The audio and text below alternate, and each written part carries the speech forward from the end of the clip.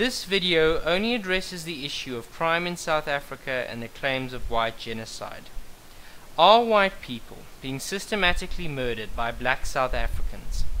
This is a claim I've frequently encountered on white right-wing websites, claiming that whites are being killed at genocidal rates in post-apartheid South Africa.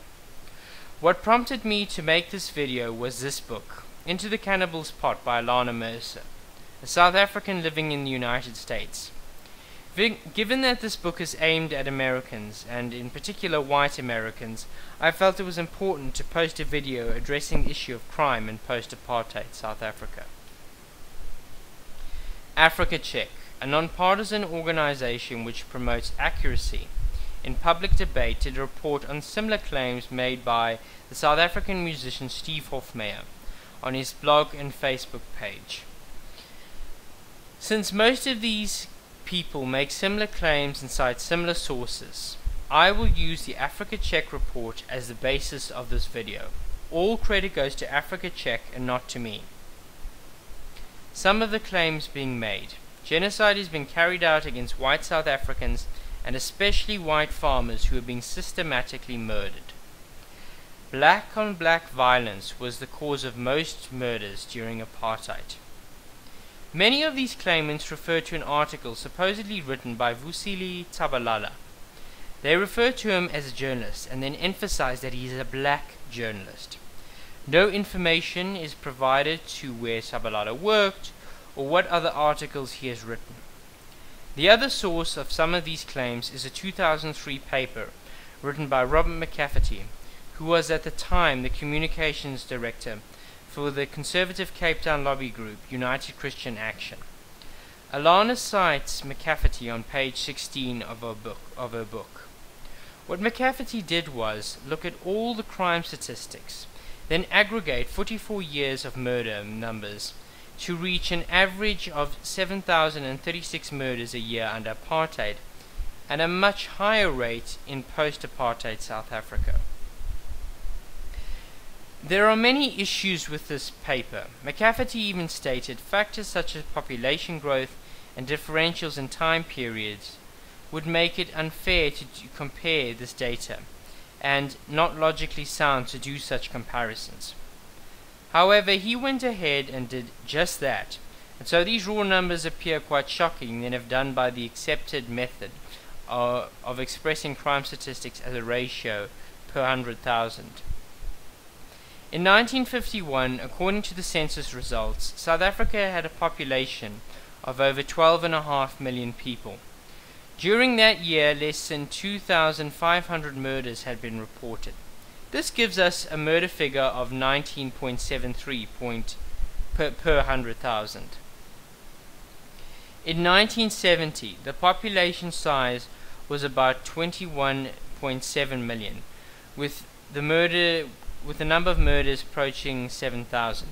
This equates to 32.12 murders per 100,000. By 1994, the murder rate, according to McCafferty, had reached 25,000 a year. The population at that time was just under 40 million. This gives us a figure of 62.5 per 100,000.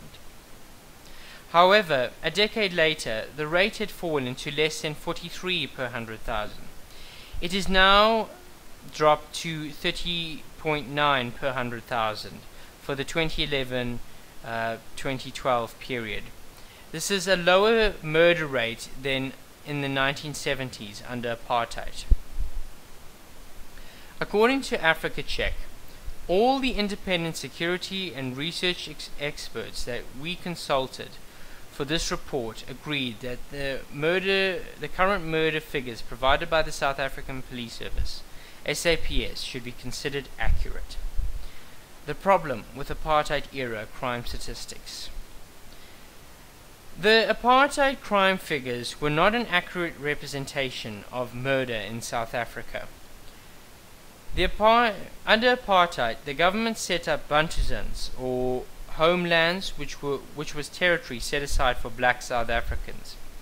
These were supposedly self-governing independent states which had their own police forces, and these police forces ke kept their own crime statistics. Many of these many of the homicides went unreported in these areas. Crime statistics from these areas were not included in South Africa's national crime statistics.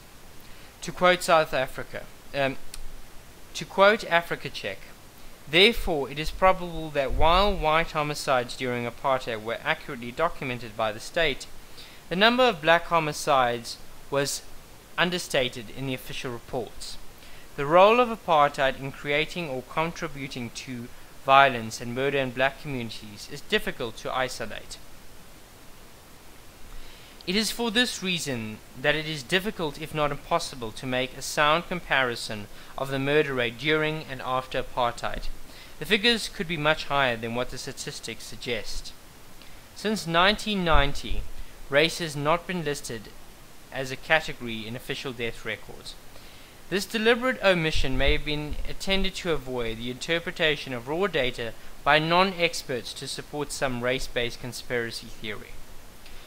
However, an analysis of 1,378 murder dockets that were representative of South Africa in 2004 showed that, quote, in 86.9% of the cases, the victims were Africans. Whites counted for 1.8% of the cases, although whites make up 8.85% of the population. If white genocide was taking place, you'd expect the murder rate for whites to be much higher than the percentage of whites in the general population. These statistics show that in South Africa you're more likely to be a murder victim if you're a young black man. According to Lizette Lancaster, manager of the Crime and Justice Hub at the Institute for Security Studies, only about 16% of murders occurred during the commission of another crime, mainly aggravated robbery. About 65% of murders started off as assaults due to interpersonal arguments and fueled by alcohol and or drugs, resulting in murder. The vast majority of the vast majority of murders are, she said, social fabric crimes perpetrated by friends or loved ones. What about the claim that white farmers are being systematically killed in South Africa? Historically, in South Africa, most commercial farmers are white, and their risk of being killed is much higher than that of the general population. In fact, it's more dangerous to be a farmer than to be a policeman. The motive for 89.3% of these crimes, according to, according to a 2003 report, is robbery.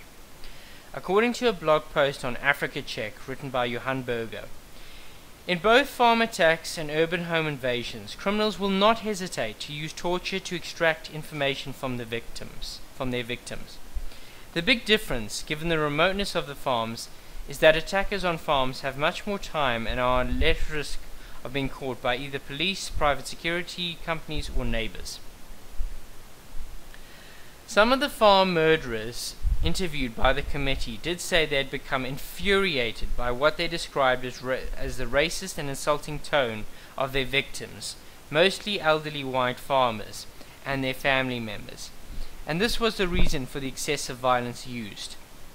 But the evidence does not support the, the claims that race or racial hatred is the primary motive for farm attacks. In most cases, it is robbery.